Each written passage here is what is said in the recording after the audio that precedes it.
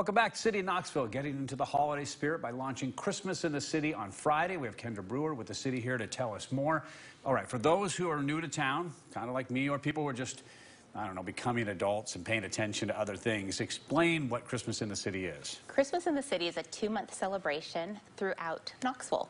So it actually kind of kicks off November 1, and then it will go until January 2nd. Okay, now you say, when you say that, there's a lot of holes that we still need to fill here. So what does that really mean? I mean, there are big events, small events? There are events all over the city.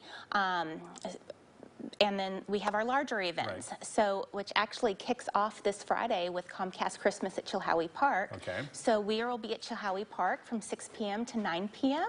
And we will light a Christmas tree. There's free photos with Santa, tons of free activities. Okay, that's the big event. Yes. So if you can't make it, because people's schedules are such, I mean, you still have some Friday high school football games and things like that. What else can people do to be part of it? Then, well, and then next Friday, Okay. we have the Regal Celebration of Lights, which is when we light the tree that's in downtown Knoxville. Okay. So you'll have two tree lightings within the next two weeks, so you can go out to Chilhowee Park, you can be in downtown Knoxville, and experience both of them.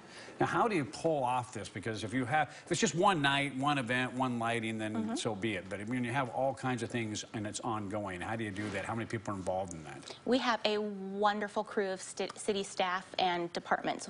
We, in the special events office, there are three of us, but we work very closely with public service, engineering, traffic engineering, the police department, the fire department.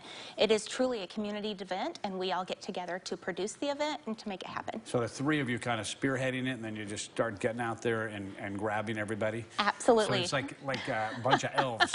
You have They a are- bunch of Santa's elves We right are there, right? all of Santa's elves at this time of year. There, there you go. All right, what, how long have you been doing this? Because this is not a new thing, right? Christmas in the City started back in 1978. Yeah, long so- before you were in charge. Yeah. Very long before I was in of it, yeah. charge. But um, it has evolved through the years and it continues to grow. And we're just so happy that we're back again this year. That's great. Yeah, and we are too. Now, where do people go to learn more? Because I, and we covered all, and then they go, oh, now what about what? You know, so they can learn more. Obviously, please go to the city's website and just type in Christmas in the City in the search engine, and everything you need will pop up. You can also visit our Facebook page, which is City of Knoxville Special Events. There you go. We have it covered now. Kendra, thank you very much for coming in.